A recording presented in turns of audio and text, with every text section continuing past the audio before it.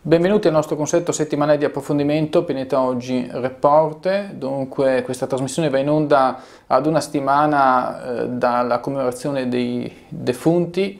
È stata una grande festa, io ho visto veramente tutto, maschere addirittura inneggiare a demoni, in, eh, come dire, rappresentarli nelle piazze, nelle strade, nei mezzi pubblici, dappertutto ma meno che una seria, attenta eh, concentrazione su quello che ci hanno lasciato i nostri cari, insieme quindi ai nostri parenti, eh, familiari, amici anche. Ecco, eh, questa è una vergogna, cioè dover sempre andare a importare queste feste da oltre Atlantico. Da qualche anno a questa parte si registra questo. Insomma, non è bello veramente vedere maschere in giro che imitano i demoni.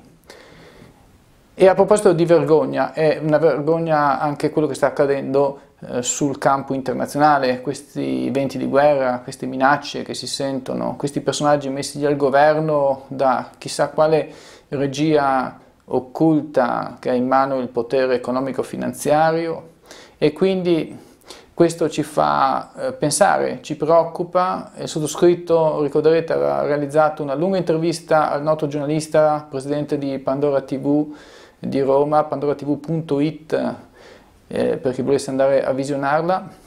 Lui è Giulietto Chiesa, lo ha raggiunto il sottoscritto, dicevo, a Trieste in occasione di un grande convegno. Noi oggi ascolteremo la seconda parte, poi vedremo se magari avremo anche una possibilità di ascoltarne una terza parte, perché l'argomento è molto attuale. Dunque può partire il servizio, noi ci vediamo, ci sentiamo al termine. Ecco Giulietto, il discorso dell'ISIS, cosa ne pensa lei? Qual è la sua posizione? La mia posizione è inequivocabile ed è documentata. L'ISIS è stata costruita dall'Occidente, dai servizi segreti americani, israeliani, eh, arabo-sauditi e, e non si costruisce un esercito di 70.000 uomini se non con l'intervento di uno Stato significa miliardi e miliardi di dollari, non sono mica inventati sotto, non si trovano mica sotto le pietre, non è mica il fanatismo che crea un esercito di fanatici, quelli sono mercenari che sono stati raccolti, organizzati, finanziati dall'Arabia Saudita con l'appoggio diretto della CIA e dei servizi segreti britannici e francesi. Bisogna dire esattamente come stanno le cose. Chi ha messo le bombe in Europa? A Parigi, in Belgio, in Germania, sono quelli dell'ISIS e quelli dell'ISIS sono in vita perché noi li abbiamo fatti nascere. Adesso l'unico paese che li ha combattuti sul serio è la Russia e infatti Putin li ha sgominati. Adesso restano ancora qualche piccolo, qualche piccolo drappello che è in fuga perché perché Putin li ha bombardati e li ha distrutti. Adesso la domanda che io pongo è questa, eh, ci sarà qualcuno che continuerà a, a finanziarli? Di, di, mercenari da comprare sul, sul, mercato ce ne sono quanti se ne vuole, il problema è quanti sono i dollari che gli arrivano. C'è qualcuno che gliene dà ancora? Eh, io ho il sospetto di sì e ho il sospetto che se gli Stati Uniti decidono di sostenerli ancora, eh, Daesh o, o l'ISIS come la si vuol chiamare continuerà a proliferare. Bisogna smetterla di finanziare i terroristi, i tagliagole, i tagliagole li abbiamo costruiti noi con le nostre mani. Quindi praticamente è un po' un finanziamento di stati, mm, sintetizzando in extremis. Sì, è un finanziamento di stati che vogliono cambiare la geografia del mondo. Questi signori eh, volevano costruire un califfato con l'idea di distruggere la Siria, con l'idea di mettere in difficoltà eh, il Libano, con l'idea di realizzare uno sviluppo della estensione territoriale di Israele. Non va bene, questa è una linea che ci porta in guerra tutti. È una del resto quello che sta facendo adesso Trump, che ha rotto l'accordo con, l'Iran, ha rotto l'accordo che aveva già firmato insieme agli europei e ai russi, ha deciso unilateralmente che questo accordo deve essere rotto. Ma chi è che vuole la guerra contro l'Iran?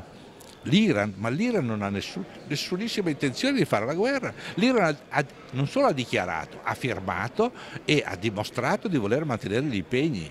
l'Agenzia la, Internazionale per l'Energia Atomica è andata a fare le verifiche sul territorio. Sono due anni che l'accordo c'è ed è stato rispettato pienamente dall'Iran e quindi a un certo punto sentiamo il Presidente degli Stati Uniti che tira fuori la tesi secondo cui l'Iran sarebbe uno Stato fanatico. Ma come sarebbe dire? Abbiamo firmato un accordo e questo accordo viene rispettato e l'America lo viola. Siamo in una situazione davvero de, desolante, desolante perché noi abbiamo il capo dell'Occidente che è un, un, demente, io lo definisco così, è un demente incapace di intendere e di volere.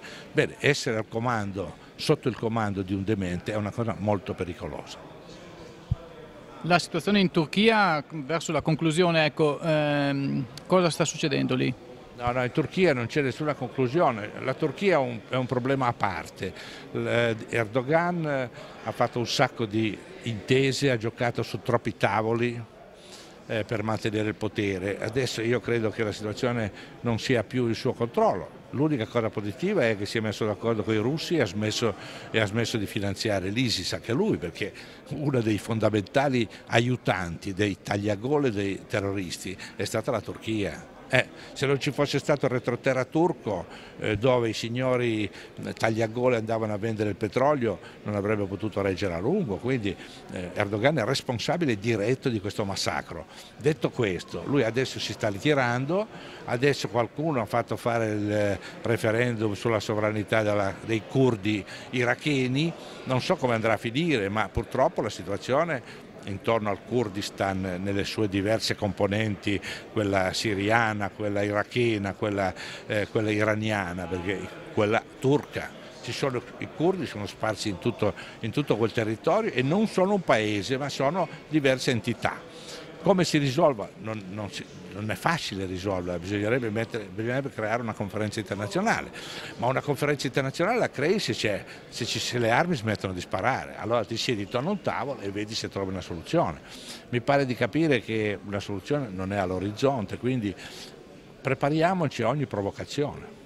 Ogni provocazione. Ci sono 5 o 6 eserciti che si muovono ciascuno indipendentemente dagli altri e questo non è una cosa che ci deve tranquillizzare.